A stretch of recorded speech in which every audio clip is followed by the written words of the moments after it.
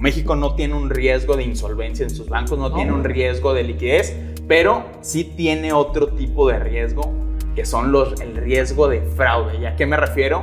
Que en esta administración ha habido el colapso de instituciones financieras, digamos, de medio pelo, Accendo, Alfa Credit, Banco FAMSA, Crédito Real, todos estos casos tienen un común denominador. Ese común denominador es que hubo malos manejos, en algunos casos fraudes directos, en otros casos incluso esto ha derivado en procesos judiciales en Estados Unidos, como es el caso de Crédito Real, donde Ángel Romanos Berrendo se le acusa de operaciones eh, simuladas y de simular la liquidación de este, de este fondo.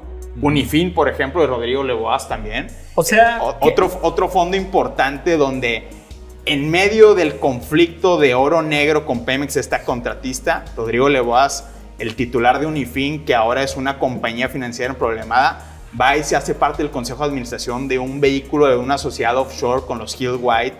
O sea, de si en 120 el tema, millones de dólares. Si en el tema de seguridad pública nos faltan expedientes, en No, el tema hombre, financiero no hay es- eso. Y es el no tema. hay una autoridad. Y sigo, con otro ejemplo. Accendo, por ejemplo, que el IPAP aquí sí, al igual que con Silicon Valley Bank, tuvo que entrar al quite y poner 1.307 millones de pesos para salvar la integridad de los depositantes. Todos estos casos tienen que ver con falta de Pero supervisión. con FAMSA no les fue así, ¿eh? bueno, con FAMSA todavía no se resuelve. Todavía no se resuelve. Digo, hay, hay demandas, pero llegaron hasta cierto tope y había gente que tenía, digo, que decían era el 3% de los ahorradores, ¿no? Sí, pero ahorradores que tienen, que confían en ese tipo de Claro. instituciones financieras y que quizá tienen los ahorros de toda su vida. Pero el común denominador aquí es dónde estaba la Comisión Nacional Bancaria de Eso. Valores que no advertía En los casos malos mencionados. manejos, en los casos mencionados, no en los casos de los grandes bancos mexicanos, no, en los casos como Alfa Credit, como Accendo, como Unifin, ¿dónde estaba la Comisión Nacional Bancaria de Valores? Y hemos visto que en esta administración se ha privilegiado un desmantelamiento de la burocracia tradicional.